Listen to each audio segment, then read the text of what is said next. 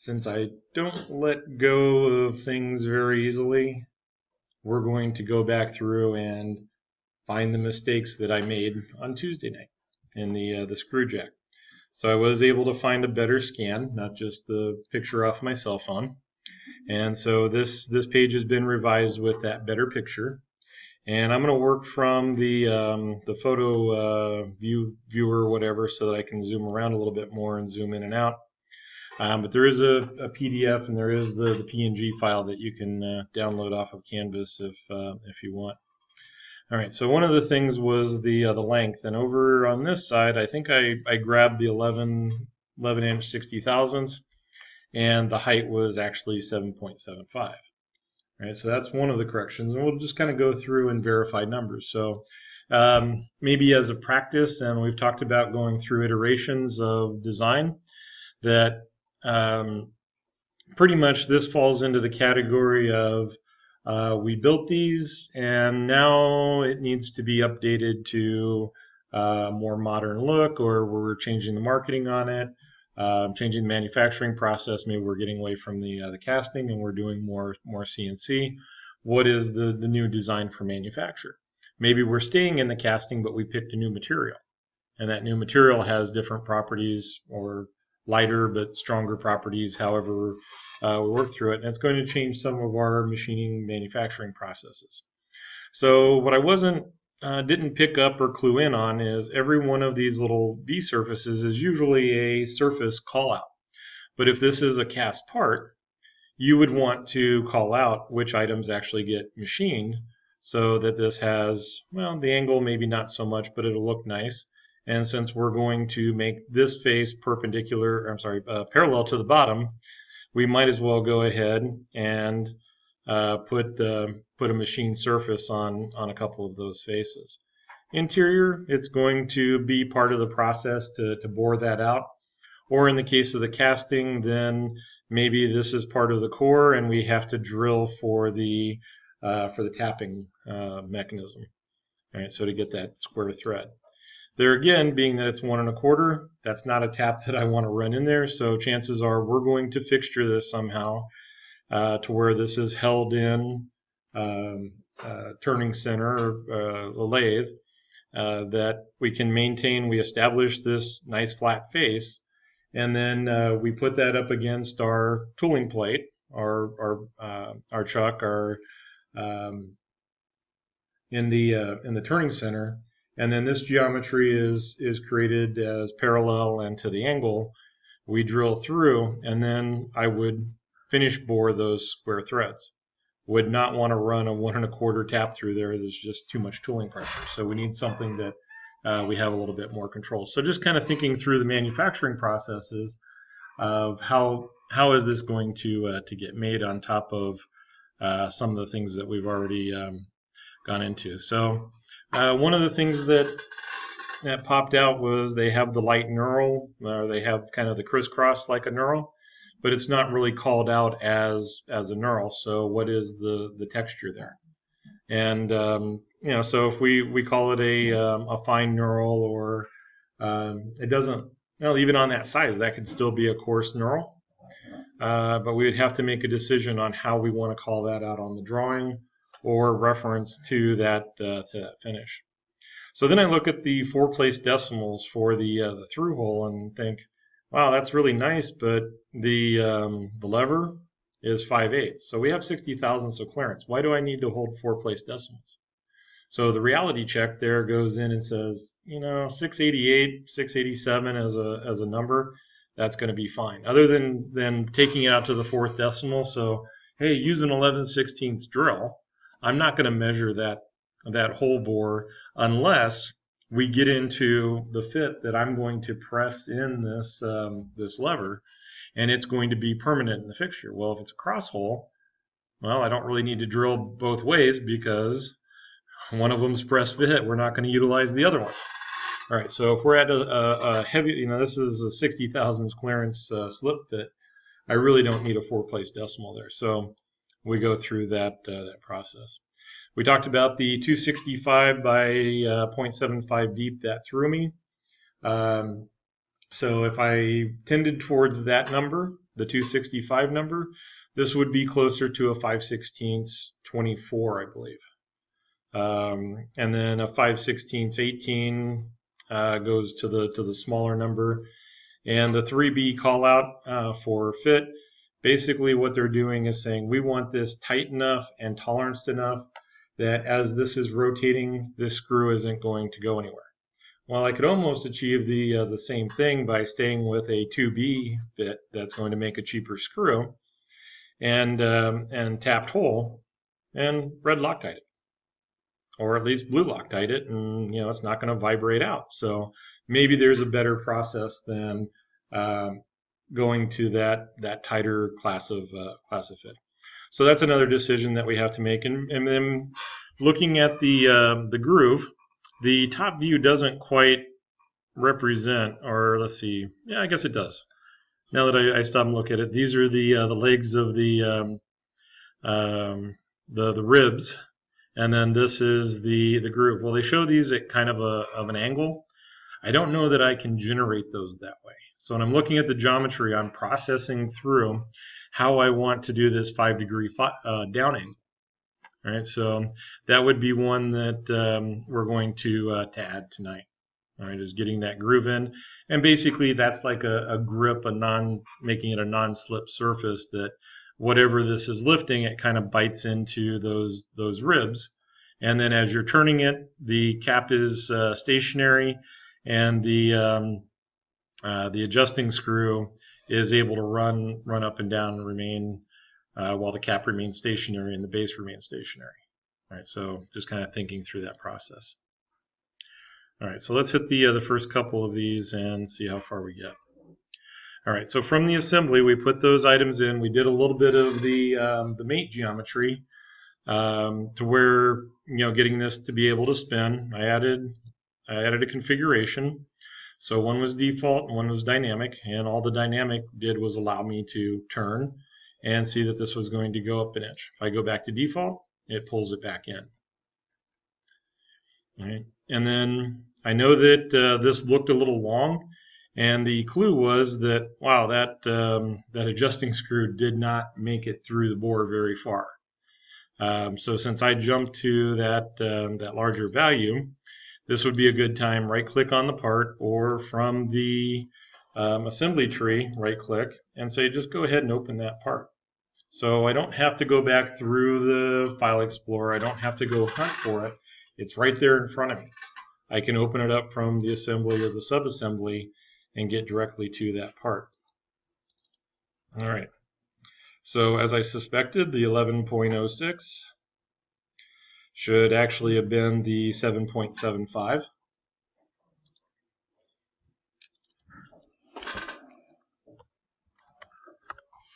Okay, and the test here is I went through and I did the whole build. Uh, we um, have everything pretty much uh, where I want it. And the test is when I hit the rebuild, do I get errors or does it just adjust? Whew, just adjusted. And there's there's places where I can anticipate errors, and then there's places that hey, it just it just happened. I'm going to have to go in and diagnose. I would need to open up whatever shows up as an explanation point, go back through either the sketch and see what changed on the relations, build back up through that process and find out um, what exactly um, what exactly changed. So let's go into this front view and we'll just well let's go ahead and edit because this got a little complicated, so I'm okay with that. That I think we're okay with that one. We had the oh that was the inside, so we haven't gotten to the ribs yet. 1.937, the 45 degree. All right, so that all looked pretty good. Uh, we were okay with the helix and spiral, and now it just goes all the way through. And then the um, the cut sweep finds the terminating. So kind of the thing with the helix is I would rather have too much helix as long as it's not colliding with something else and making uh, making that cut into other geometry. I would rather have too much helix than not enough. And then the actual cut sweep for the, uh, the threads. We did the, um, the Boss extrude for the uh, for the face, and again, overrunning into the geometry that is cylindrical just compensates for the uh, for the curvature. And then fillets to the uh, outside, setting up for the circular pattern. And then let's go back into the fillet. All right, so that was the interior one that I missed. And then also notice that there is a quarter inch at the uh, the base. All right. So, oh, I did get that one in there. That was in the uh, the first part of the sketch. All right, so either part of the casting in setting up these ribs, either part of the casting we're going to end up with uh, at least a little bit of a, a rib uh, rib there. Um, designed for manufacture if we are bringing this up to be a CNC part, um, this is no longer going to be cylindrical. I'm going to turn this into a rectangular shape or square shape. And then if we need the radiuses for strength to avoid stress risers, um, then I would put, you know, basically ball end mill. I am not going to fourth axis these. We're not going to get anywhere close to being cost effective if I'm making this out of a billet piece of steel. All right, we're gonna we're gonna be there a while going back and forth as this this turns and makes those ribs. So at the uh, the very least, uh, you know, as far as weight, I wouldn't go straight to a cone. All right, even if you know in the steel, I uh, I can't say that I would want the the weight of going straight to a cone, but even at a cone, I could possibly make um, serrations, and then the serrations could be part of the the setup, but not have to make um, you know a bunch of really small toolpath moves. So we have some decisions to make to bring this up to uh, something that is uh, easy to grip. We said this is cast iron, so let's find out how much this weighs. So go into the um, materials. Uh, let's just go with, oh, let's expand it out to um, iron. We'll just put in the, uh, the gray cast iron and apply. And then one of the things that's going to come up with our uh, CSWA is being able to evaluate this. So we go over to the Evaluate tab, we look at its mass properties, and this is seven and a half pounds. So it's not, you know, it's, uh, it's not something I want to throw around, but it's not overly, uh, overly heavy. So uh, if it came down to redesigning this more as a conical shape, and it added another five pounds to it. And then we found a, a another more cost-effective way to remove some of that um, that weight and that material. I'm okay with that. All right, so staying with the design. Um, so we kind of did a, a, uh, quick verification there. So we'll save that back and close it. And then same thing with the um, with the, uh, the, the, lifting screw. All right, we're going to check the, uh, the revolve first. So the 6.62 and the 1.94. So pretty much that was to the bottom of threads, but did not include the 0.56. All right, so I want to make sure that I get the, the 0.56 in there. And that means that this uh, dimension goes plus 0.56. So I can put that math in, build it out, and then we'll rebuild, and I do get an error. All right, so we're going to see what um, what was generated. Everything goes to red. That's always exciting. and either I made that way too long, so let's see what it came up with a number. Ah, so how about we control Z that since I, I missed really bad.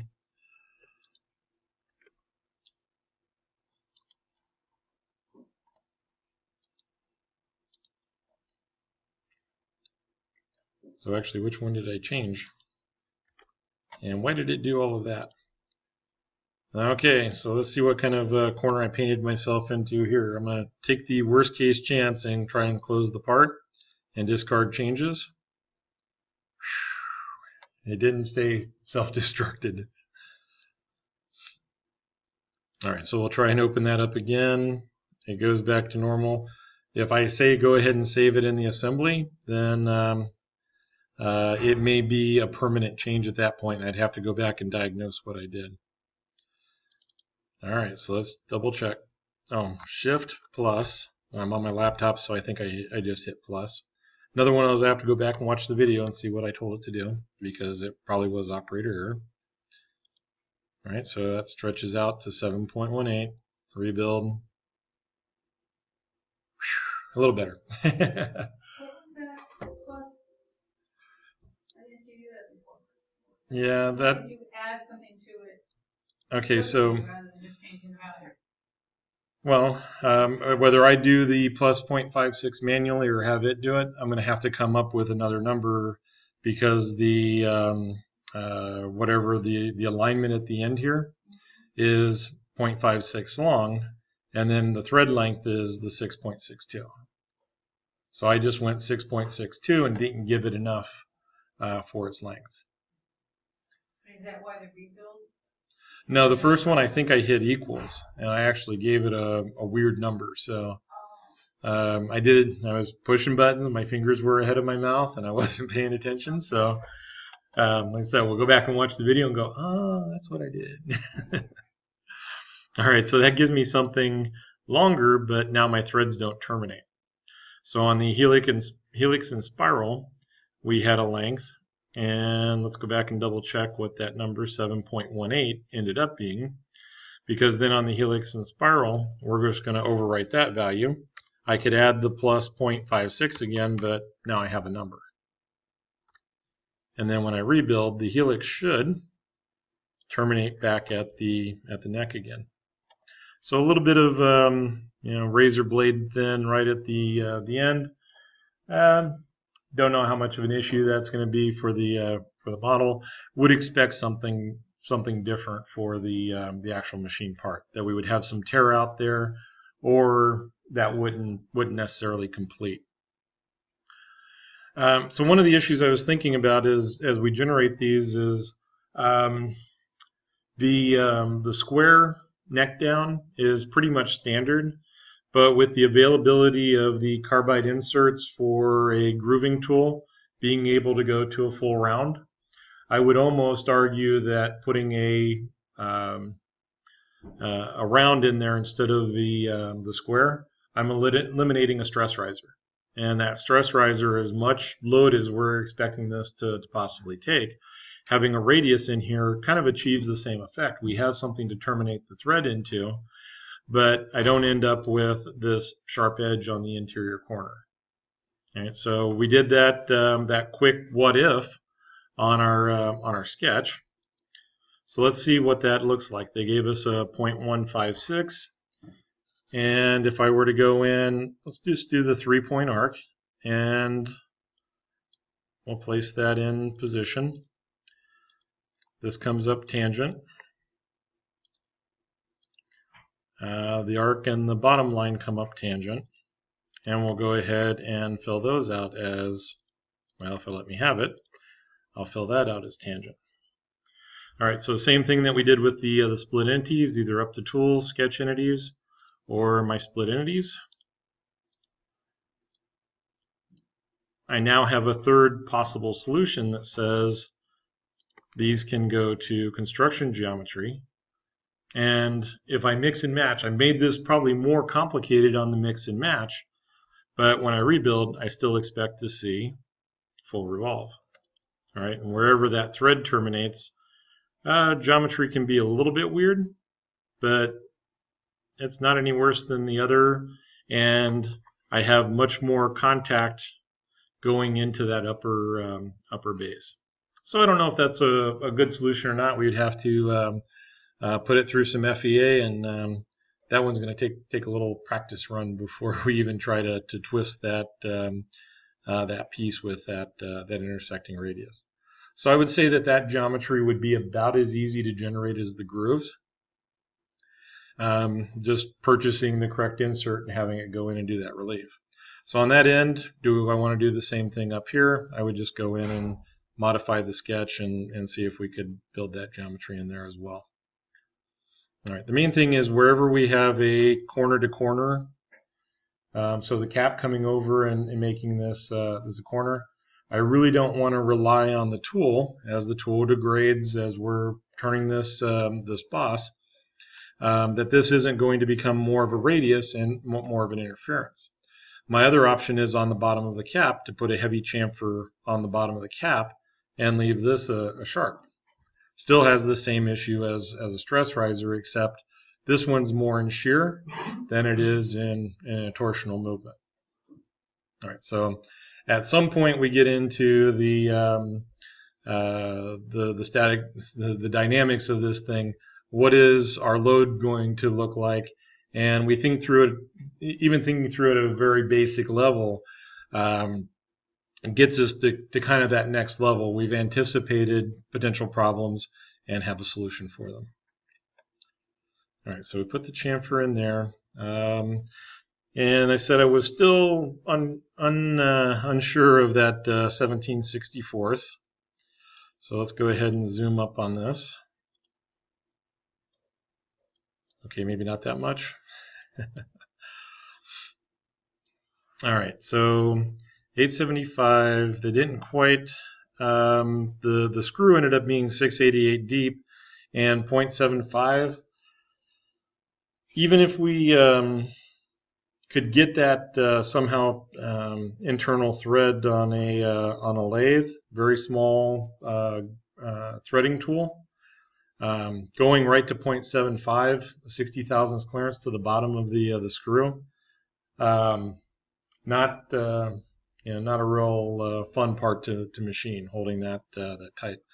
So my my recommendation is usually this is a min value that machinist it's up to the machinist to make sure that I get um, 0.688 of threads and if this is tapped then that means that this could be as much as one inch deep to take care of the lead on the um, on the tap the um, the non-cutting uh, threads and to get to actually full threads if it takes a quarter inch extra I'm okay with that if for some reason this was going to break through that's when we put the max notation and say I need to have this. If you've got a grind to tap, uh, bring it to where it's uh, as flat bottom as it can be, then bring it as close to the bottom of the hole.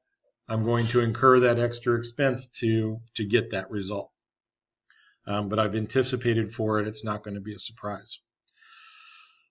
So for the um, the 3 8 16 and this this turning and them not wanting to um, uh, to have this back out unnecessarily, I would probably go with a fine thread. And the um, uh, in that case, then the uh, what do we have? Three eighths. Um, well, let's go ahead and uh, let's go ahead and adjust it.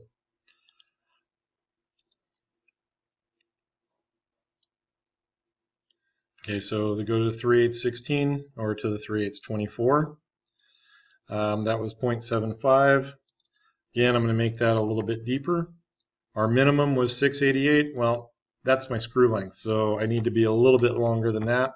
And so I'm going to adjust those numbers, making them a little deeper.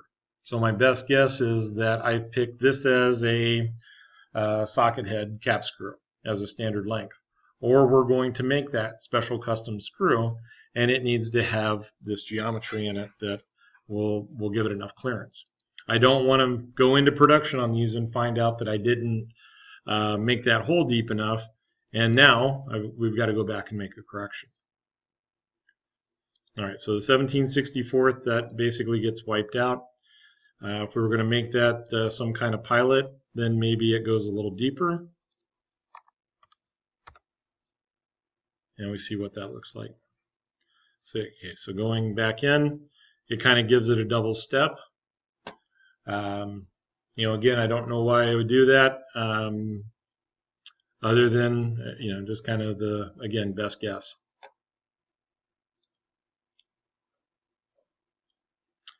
All right, then the chamfer was at the bottom. So my best practice says that chamfers are always last. We're going to stay with that. I'm going to go into the uh, to the front uh, plane. We'll open up the sketch. And then the 194 said that, um, oh, that's an interesting result. okay, got lost a little bit there on the, uh, the rebuild. Um, that this is going to be centered on this boss. And so I can draw a center line between midpoint to midpoint. And then we had the discussion about the 0.6, um, 11 sixteenths. So that being the case, I'm going to open up that tolerance to a 688. And actually I can make it 690 and say, drill it, drill it with whatever you got. It's going to be fine. All right, and we get out of um, that. We're going to extrude cut, and it is going to go through all both directions. And that's going to open up our geometry. All right. Then the question is, do I pattern it? Probably not. There's, there's two. It's not like uh, there's it's going to be that big of a deal. What I might do though is show this sketch so that I have the same line. And then we go into the right plane, open up a sketch. All right, so it wanted to show me from the other side. We find that same center point. Probably um, if if this if I thought this was going to change and be a problem, um, I would set a global variable because I don't really have any way to make those equal. At least I don't think I do. Got tangent. That just sounds weird. Maybe even tangent to the, nah. I'll go with the dimension. Or I'll set a global variable so that those are the same. All right, so we're going to extrude cut through all both. That gives us the pass-throughs for the uh, for the lever. We're through with the sketch. We can hide it and then roll forward. So right-clicking, I'll just roll to end and that gives me my updated modified geometry. So the only remaining is, well, okay, two remaining is do I put the little curved radius in here? And then what am I going to do for the knurl? Right, so the, the fine knurl, uh, coarse knurl, uh, we don't, we can build that into the model, but if it doesn't do anything to help us with the machining or the detailing, uh, then I'm probably better off just putting an annotation on here that says, um, well, insert um, all the way at the bottom, annotation, we'll do a note view, um, fine knurl,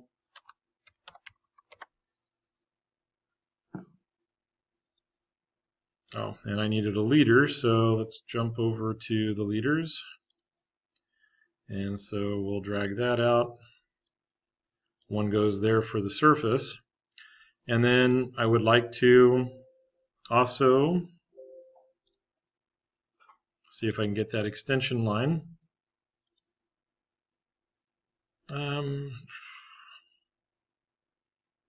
uh, maybe that's more of a dimension thing that I can split those, but I'm not seeing it.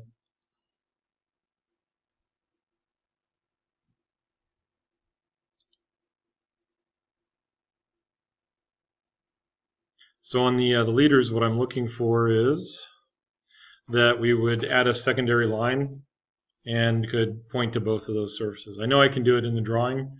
Um, not sure, wasn't sure about the, um, the part. But at least that's enough of a note to come back and say, oh yeah, we were going to knurl that, not just leaving it. All right, so let's go take a look at the cap.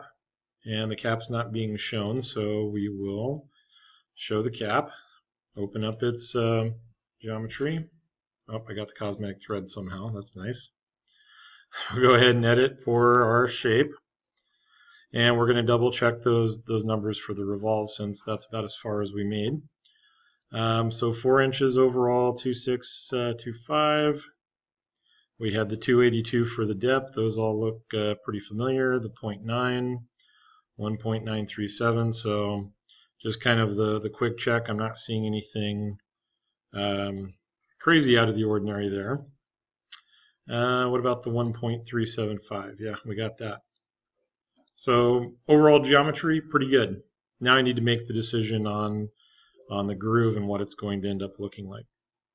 All right, so they're they're giving us the the basic geometry, 234, pretty close to six millimeter. It's kind of an oddball size if I'm going to have tools ground up to make this uh, shape and put this on a tilted indexing head so that I can cut all those grooves at the 5 degree angle, I'm going to a standard size. All right, we'll find a, um, a quarter inch end mill that is available through um, any of the, uh, the, the, the tool vendors and um, buy one that already has a, an 060 uh, radius on the uh, the nose for the for the hog nose. All right, so that I'm making a design change based on a manufacturing process, not having to do something special for just that groove. All right, so to make that happen then, uh, one more dimension that we need is 0.06 at the top of the groove and then 5 degree down angle. All right, so I want to, uh, we'll go into the front plane, open up the sketch. All right, save the document, that's fine. Um, oh, I got, got button heavy. Should have waited till after I got out of the sketch. All right, rebuild and save. Are you happy now? There we go. Let's go into the wireframe, and basically we're coming from that corner. So I know that this is going to intersect, not at the midpoint though. so since I went right to the midpoint, I've got to get rid of that relation. And I do want a coincident relation, but not the uh, not the midpoint, right? Because we had that 060, and I missed my dimensions, so 0.06. We had a 5 degree down angle. All right, and then the question is, how do I want to chase this? So I think I'm just going to bring this to a termination and then make those two lines collinear, kind of like what we did on the rib. Yeah. So it sticks it out a little bit further, but that's not, not a primary concern.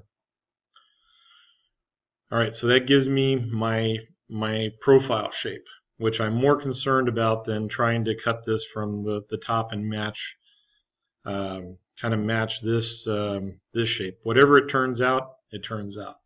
I want to see something that's realistic to the geometry that I'm going to be able to manufacture, and I think I can do that with, with this uh, shape. So this extrude cut goes mid-plane, and dimension is 0.25 because I'm updating from the 234. Another 16 thousandths, I can't see making a difference, but I'm going to save a bunch of money on tooling costs, not having a 6 millimeter 60 thousandths ground up. All right, so there's my shape. And kind of as I expected, it's more of a, a straight through than it was um, kind of tapering towards the inside. All right, so the fun part, let's get the fillet in there because that is part of the, is going to be part of the pattern. So 0.06 and didn't need the face. All right, so let's go with just those two pieces of geometry and that terminates back to the sharp. And 062 would overrun just a little bit, maybe not have the uh, the same clean on the um, the face. So we're given a dimension of 15 degrees between the uh, between the angles. So 30 degrees would be um, well, had just had the brain fade.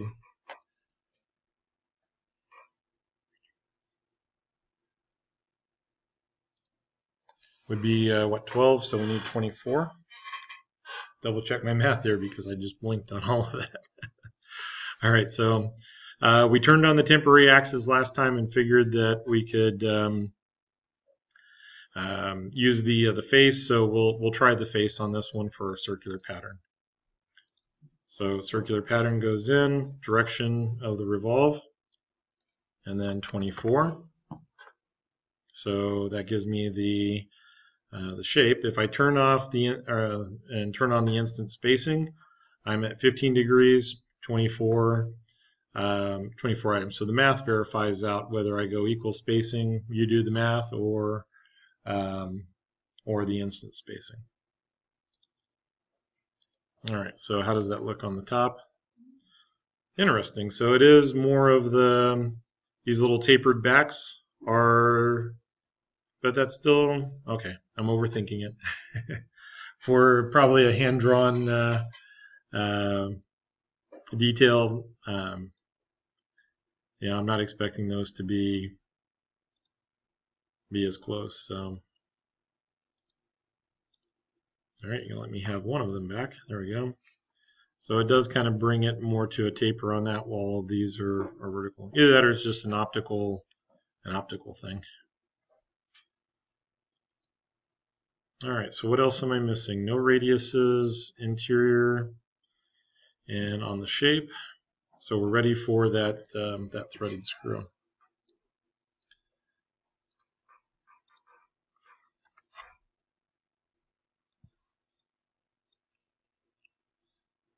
All right, so oh, I'm still in. How did I do that? All right, so I don't want to be editing editing that. And mainly the cap is able to rotate, and now that we can um, see the, the, see the geometry, that minus sign makes sense that you know it rotates, and that it's kind of what we expect it to be able to do.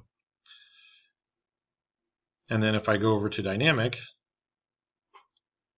then as that item turns, then we're seeing the thread go up and down. And, oh, still got that a little bit long. How did I manage that? So let's double check that thread. So the assembly is helping us out there. And I brought that, um, oh, let's go back to the zoom. Okay, get my get something to cooperate here.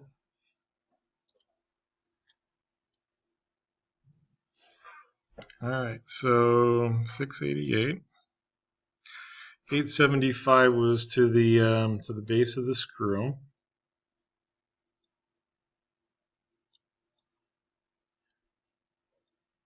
All right, so maybe that was to the base. All right, so another dimension I'm not picking up.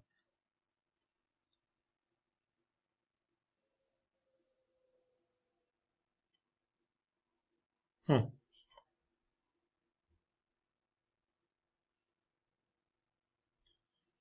All right, so if that's one inch to the um, to the bottom of the screw, and we're putting in a clearance, but basically those would be in contact. All right, we'll have to see what I put in there. Go back to the revolve. And 1.38 came from somewhere, but that was probably to the top, so we're going to go back to the 1 inch, rebuild it, save it, and then going back into the assembly. Uh, it's a little closer, but not quite there. So I still have some dimensions, and I'm just shy of a hundred thousandths um, on the uh, on the difference. Hmm double check that because that's where the screw head should fit. That would be the clearance. We would want a little bit of clearance then, but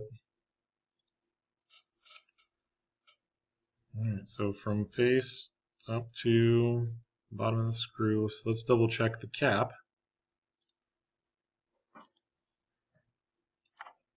Now there's my 1098, so that was either a missed dimension or no, that's that's too strange to be anything but. So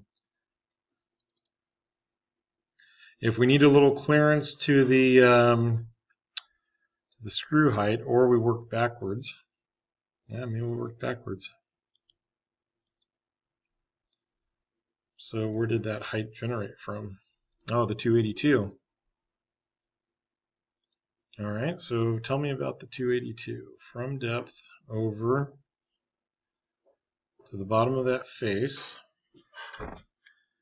in the cap and eighth of an inch to that face.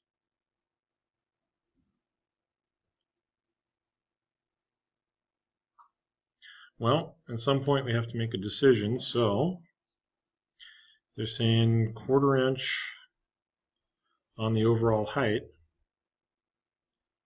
and that fits in, and that would still be, that's not subflush. So I went, well, I went overall. Okay, so that dimension comes out, and this dimension goes in. Okay, so that whole trying to be detail oriented sometime catches up. All right, so one more check. And then we're probably now on the too long side. So 973. Yeah.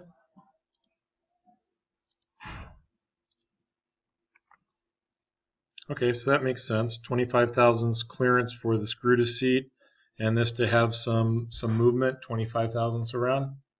I'll buy that. Yeah, we'll see what it looks like with once we get the um, the, the, the special screw in there. All right, so I didn't apply materials we had on the uh, the listing. Let's go ahead and catch up with those. Cap is uh, cast iron, the machine steel, and I had to go back and look FAO finish all around. So all of the um, faces on this um, on the lifting screw are going to have some kind of uh, touch. I think that's kind of a, an older notation. I haven't seen it in a while. So we'll, um, uh, we'll pick that up. So as a, um, as a material, readily available material, we're either going to go with a uh, 1020 cold rolled uh, or a 1018. We have 1020 um, available. So uh, we talked a little bit about the uh, the standards. Are you dealing with SAE? automotive, um, uh, the what is it, the American Institute. Um, pretty much the material standards. I focus more on the last number than I am really about the governing body. All right, whoever set those, because 1020 in, in all respects should be 1020.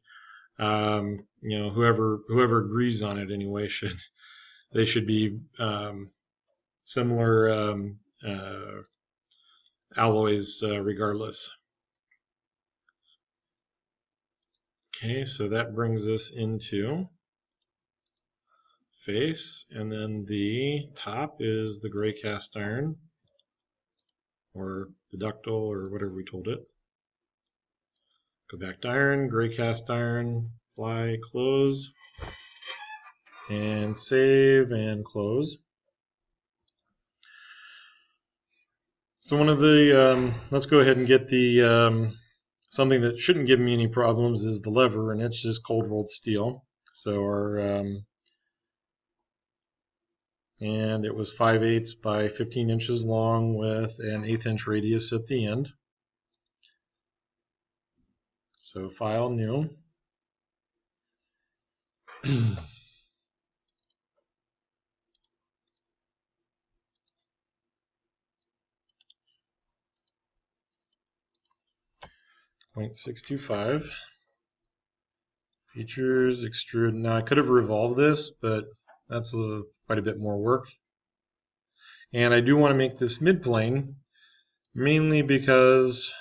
when I put this into the model, I think it's going to make more sense to, uh, to set the alignment through the center of the uh, lifting screw. Radius then, we go to 0.125. and that is item uh, item five, the lever.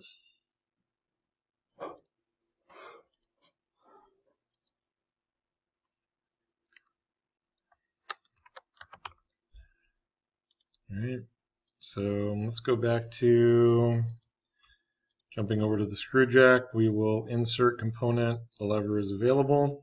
I didn't set a um, um, a mate reference or anything to make this concentric, so I get to, uh, to set all of them. I am ready to turn the origins off. So whichever one I pick will go concentric. And then what I would want to be very careful of is making this uh, this mate so when this turns, it, it is able to turn the, uh, the lifting screw, is that I don't get one of the planes of the assembly because making that parallel or coincident, it's not going to allow it to rotate. I have to be on the rotating piece to maintain the rotation. That seems kind of obvious saying it that way, but um, there have been times where, oh, I just grabbed this and I grabbed this, and I wasn't really paying attention to the uh, to the implications, and it it sneaks up on you. You know, so just like uh, last time where I was trying to figure out why my um, the uh, the mate reference for the screw wasn't working, and I had that uh, coincident in place. that one little relation was um, changing my logic. All right, so I want to make sure on the cap that, okay, the right plane, oh, not the cap, sorry. Go back to the lifting screw. There we go. So based on what I just told it, front plane's probably not a good choice since I'm perpendicular to it. Right plane, on the other hand, I'm, I'm good with that. And then the right plane of the lever, not so good. Front plane, okay. And then the choice is coincident and parallel. So let's try parallel first and see what, um, what happens. All right, so this is still in dynamic. And the problem here is that the parallel is going to allow that lever to be thrown out into space it kind of is more representative of what can can happen that we would take that out and rotate um, but it, it doesn't make for as clean a model in uh, in my opinion so the parallel we will edit the feature I can switch it back to coincident and now when I go into the the rotation yeah it still maybe flickers a little bit but it's not jumping around falling out of the um, out of the lifting screw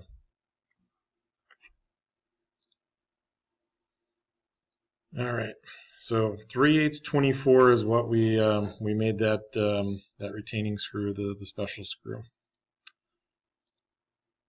All right, so staying in the part fractional, regardless of, uh, of fit, well, I still have some decisions to make. So uh, main question is here is, do I build this as, and we've got a little bit of a chamfer there on the nose, that's to be expected. Um, do I build this as a cylinder and a cylinder, or do I build it as a revolve? More likely, I'm going straight to the revolve. All right, so I can get more uh, more information uh, quicker. So 1.344 is the one that I need. Uh, we were a quarter inch high. So front plane, sketch, center line, infinite length, vertical. Uh, let's go with the, I don't know, the top, quarter inch, come down. There again, do I want to uh, deal with the, uh, the chamfer before or after?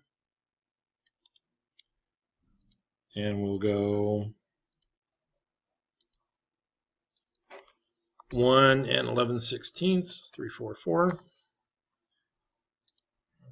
And escape out of the uh, the diametral, 0.25.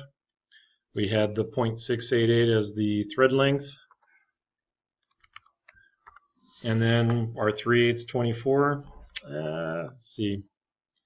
Let's go ahead and put the 45 on there because that's one of those could jump and do something strange. And we'll see what 30 thousandths looks like. Okay, maybe 30 thousandths, not 300 thousandths. There we go and then we'll set our major diameter to 375. Okay, let's try that again. When it jumps really big like that, I either missed a decimal point or put it in the wrong place. Okay, so even then that 375 just looks a little weird. All right, we will go from there though. So revolve set the base, go back into the front plane, open up the sketch.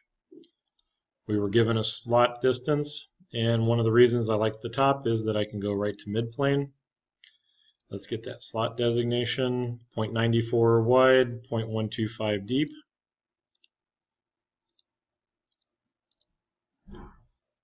All right, missed it. Dimension, 0.125. 330 seconds, 0.094. Extrude cut. Through all both.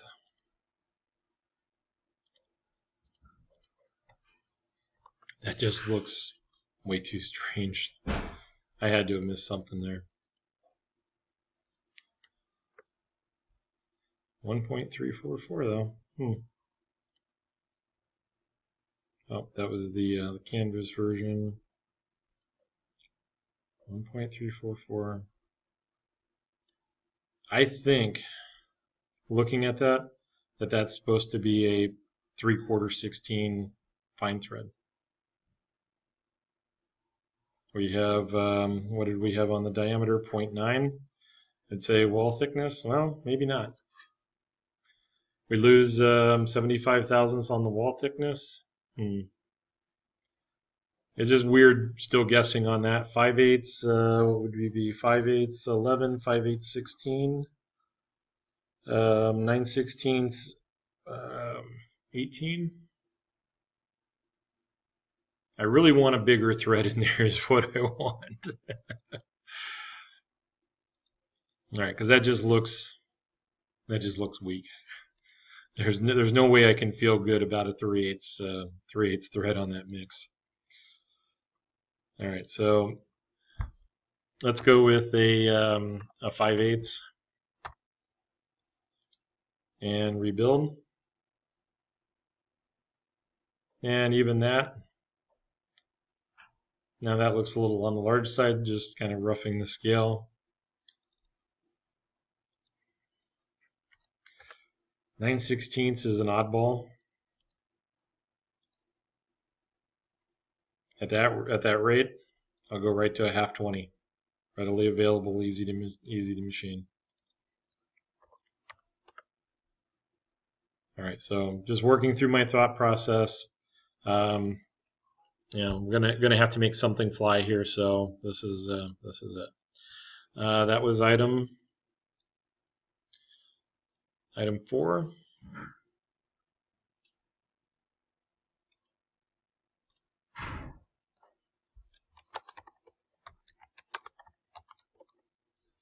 Special screw. All right, so the question again is we have a stress riser and it's not um, uh, it's not anything intentional. We don't see any kind of radius or clearance there. Um, the, the question then is, do I put a little more of a chamfer on the cap and give it clearance? That would probably be the, uh, the easiest way because um, if, if even if they're going to run this down till it seats or it seats on the top, we had that 20,000. Okay, Still then want to put the, the chamfer on the thread and make that a, a, a little more of a radius as the stress riser. But 5 eighths going to 1 and 1 and 3 eighths. You know, I just look at that edge and I think, you know, as that cap, whatever it is that we're, we're lifting up, if that cap rotates over, this is a prime breakage point. All right, so something to be concerned about, resolve, bring up at design review, come up with a solution. So my immediate solution is we will put a, um, well, maybe not a hundred thousandths. Let's see what 60 thousandths. If I put a 16 thousandths, a 60, yeah, 16th radius in there, that's going to increase the strength. It may not prevent it from shear, but it's going to deform a lot before it breaks. Oh, and then I cut it out. And then what that ends up doing on this piece is that I need to put at least the same possible chamfer. Well, in this case, chamfer is going to be easier than radius, thinking that that's going to be turned. So not a 10 millimeter, but let's go to the next one. Uh, we'll give it an 090. That looks pretty big. How about a, an 060 plus? All right, so just games that we need to play to set for that relief.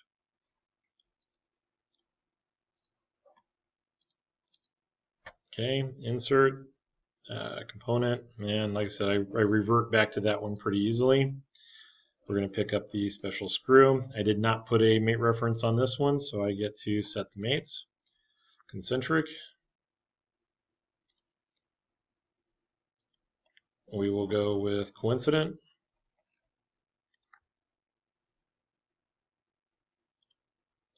And then this is able to rotate well, and, all, and so is the other piece. But really, I don't want it to uh, to be able to rotate uh, with the uh, with the part. Once we uh, screw that down wherever it locks up on the uh, the threads, it's there. So inside of the mates and screw jack, we can go to this concentric, and I can lock rotation. So lock rotation because the mate is between the lifting screw and the special screw. Now when this rotates, they should stay stay together. Cap is able to turn around the outside. All right, and we can test that by going back to the default. and the mates that I added after the fact, right? Because I built the configuration, I put in those additional mates. I did not tell it to apply those mates somewhere in the mix. So I'm going to have to go back and identify those. And this is part of the um, part of the issue. So I'm going to go find my concentric through the last, and we're just going to unsuppress those. They're still valid. They just weren't added as we brought the pieces in. All right, and then everything's set to dynamic. Wherever it lined up, it lined up. And I think that's fairly representative of what I could expect in, in the part. Cap is still able to turn on the, uh, the screw. And then what I would want to see is through the front plane looks good. We'll go to the section view and we'll check the clearances. All right. So where I missed is we built uh, built all that out, and then the section view on the uh, the lifting screw said we were going to half 20. So that's kind of why that looked a little little on the strange side. We'll go back in, edit the feature, go find our geometry. So like I said, 9 16 12, 9 16 18, not as, um, maybe not as common. And 5 eighths, just 5 eighths and 3 quarters looked a little big. So somewhere in there we're going to find our, our mix. Still don't have a real good justification for the for the pilot, so that one just gets suppressed for now. Uh, the tapped hole was attached to that same face. So if I edit edit the sketch, oh, it's going to make me um, make me unsuppress, which is going to unsuppress the other. And missed. So we're going to take the coincident that was tied indirectly, directly, indirectly to the previous. All right, so the 1760 force was in place when I put that point at the, the center. So this automatically became the parent. I have to remove that parent relation and then go back in, edit the feature. Now that point's capable of moving. We'll go back to the origin and then look at it from the side so again, the you know even with the, the half 20 and a, a thread, now that um, that whole radius in here takes on a, on a new meaning because I'm I'm in, uh, engaged that far into the uh, into the part. So let's take one more look at the um, the definition here. No, I'm still okay with that one inch and 0.7 0.75. So. So other than than that um, that boss being in uh, in shear from the cap, um, I'm more comfortable with uh, with that geometry. If anything, I would continue the threads on further into the base and go instead of um, uh, one to one the the diameter of the thread to the um, the thread engagement. I would maybe go two to one. So instead of um, the the 11 sixteenths of threads, make that thread one inch long so that it actually gets further into the base. And then I have both the uh, the boss and the, the threaded engagement um, providing providing for that shear. All right, so time to build one and destructive test it.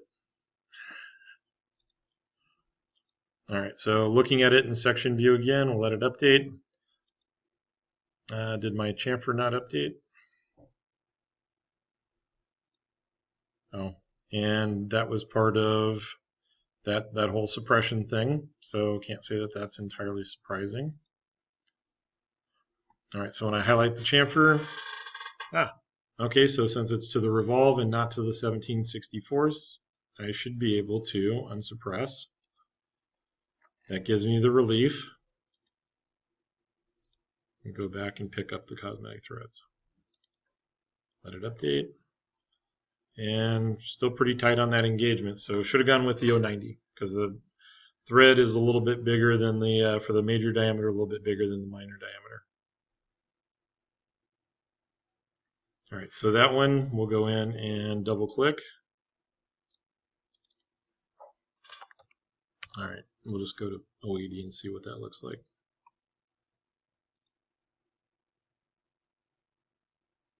All right, so I have something there anyway.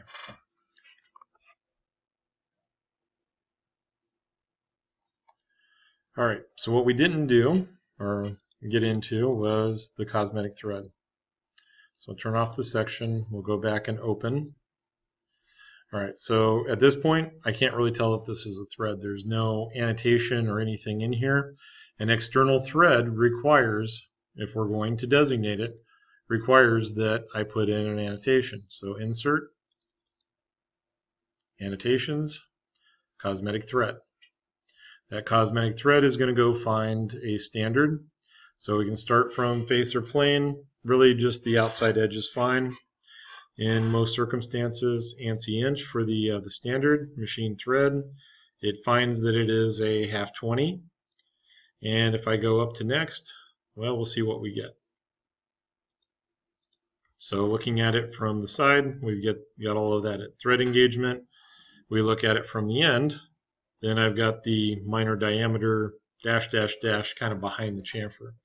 When I'm in isometric, I may get the minor diameter, but I'm not going to get the simplified thread form through the profile. Only when we're looking at it end on, side on, uh, are we going to get those um, that that minor diameter simplified thread. All right, that gives it enough information then, uh, I guess it applied it to the revolve, that it will add the cosmetic thread to the, um, to the mix. Is it worthwhile to go in and do a swept cut on this one? Probably not. We have enough of a call out. I've designated it. I know what the mating piece has in it. And when we bring this over into the, uh, to the drawing, we'll have at least a reminder in the annotation that it was a half 20 thread. So the question of the um, the class of fit doesn't really get resolved in the um, in this cosmetic thread. So we had it on the um, the hole wizard item, and what I would expect to see then, um, I turned the annotations off somewhere, so I guess I can't expect to see. So right click, display annotations, rebuild, and what I expect to see is the Nope, still not quite getting it. And it might be turned off in the, uh, the view as well.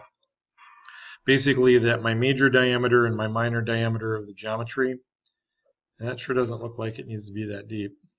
Yeah, we're back to the, the whole uh, leads on the thread. I'd rather have a little too much and be able to, um, to recognize it than not enough.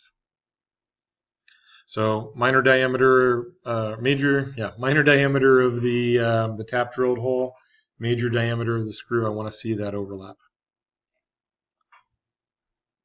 All right.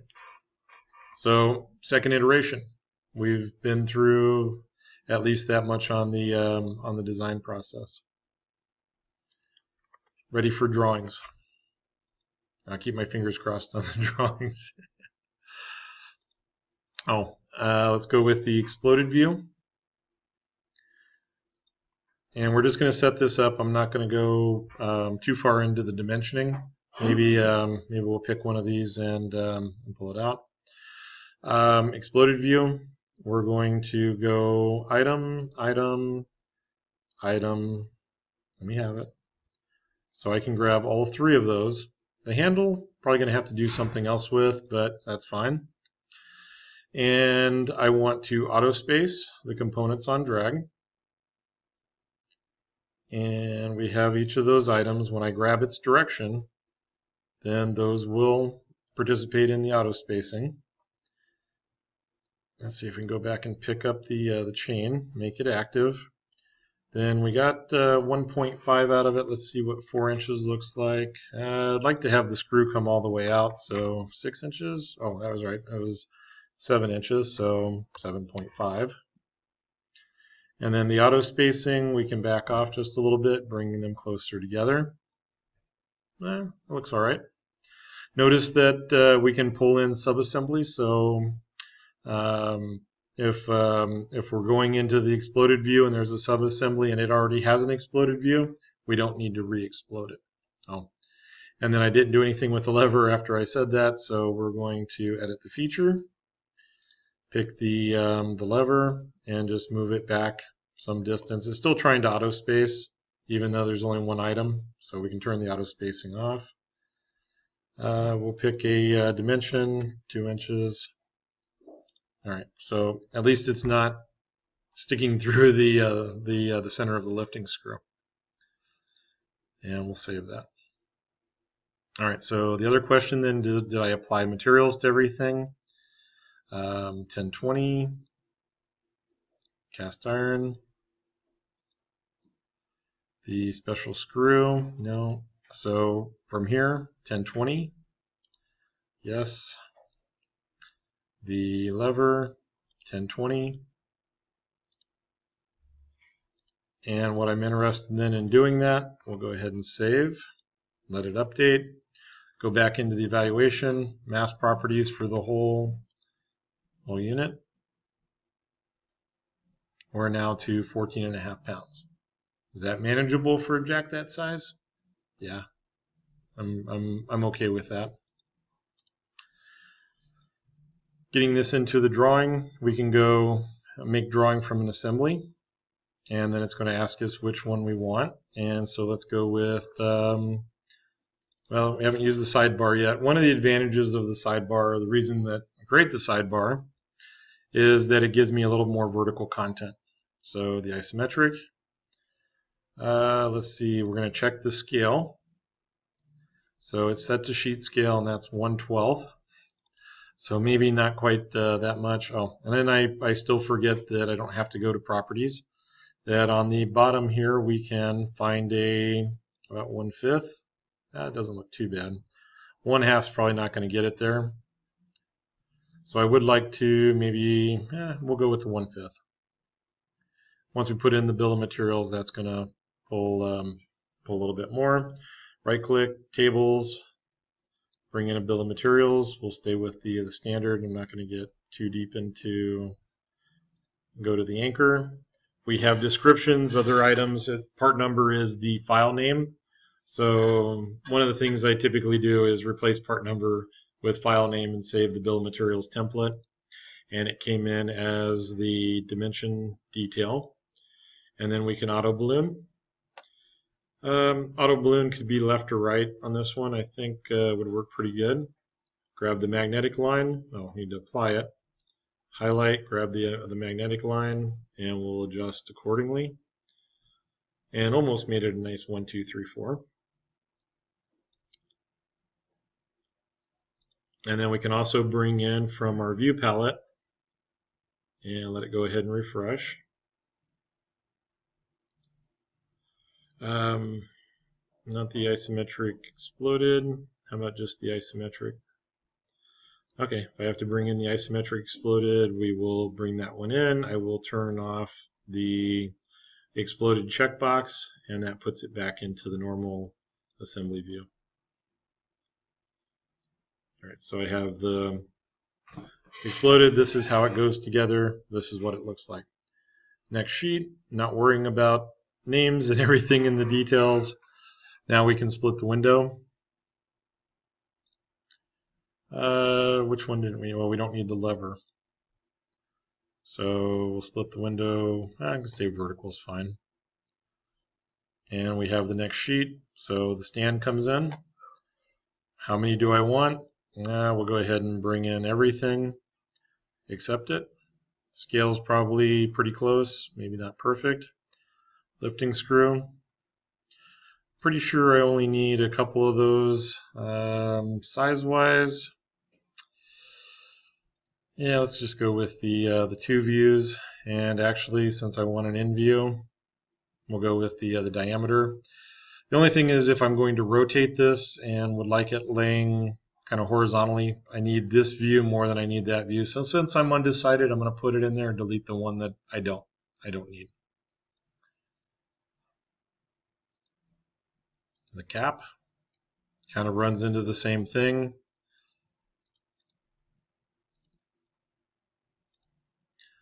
the lever. Well, shouldn't be too much on the lever, so. And then what was the uh, the last one? Should have been the um, the special screw. All right, and then basically because of the diameter of the revolve. And there is our half 20 machine threads note, even though it's kind of in the, the strange, uh, strange view. All right, so I've populated those out. I have to adjust for scale. I have to put some dimensions on. But for the most part, I've gone through and set up the drawing. Not sure, that looks like one of the, um, the references, so I'm not sure what that, um, oh, and coincident, coincident. Nice, I have no idea what that is. Got a screen anomaly.